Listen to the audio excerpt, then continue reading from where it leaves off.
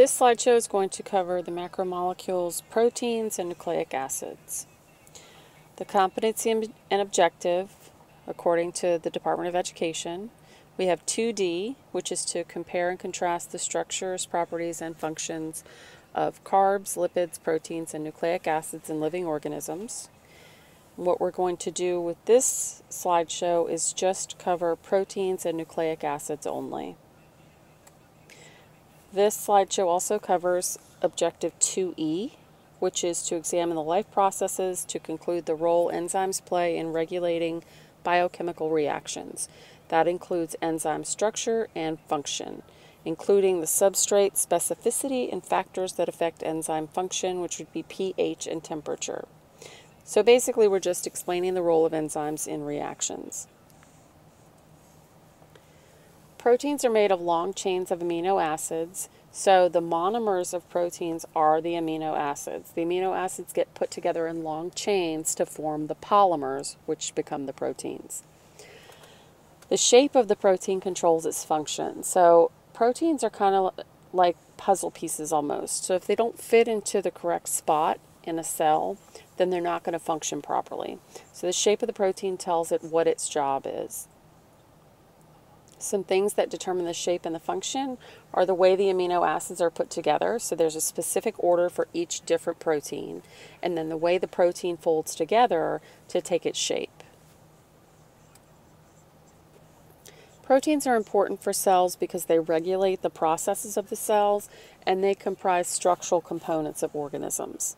So they tell cells what to do, and then proteins also form some important parts of cells and some other important structures.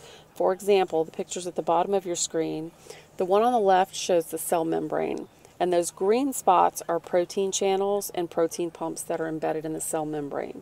Those move materials across the cell membrane that would not normally be able to cross the cell membrane. Then on the right, we have histone proteins. So those help shape your chromosomes by coiling the DNA. It's called a supercoil around those histone proteins. Enzymes are a protein that act as catalysts.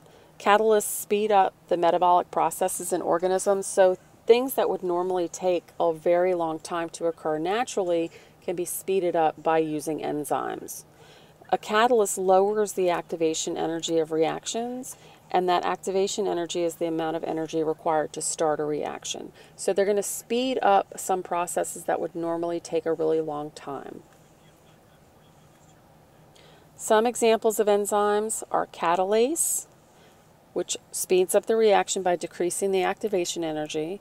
And then we also have protease, trypsin, and pepsin that all contribute to the digestion of proteins in the digestive tract. So those proteins aid in breaking down the food that you eat so that it can be absorbed by your blood. So to summarize, proteins function is to regulate cell processes and they also make up structural components of cells. The monomers are amino acids and the examples of proteins are enzymes and hemoglobin. Hemoglobin is a component of your blood. Finally, we have nucleic acids. So the monomers of nucleic acids are nucleotides. Examples of some nucleic acids are DNA and RNA. Nucleic acids are important because they store and transmit genetic information and they also hold the codes for making proteins. To summarize nucleic acids, store and transmit hereditary information. The monomers are nucleotides and examples are DNA and RNA.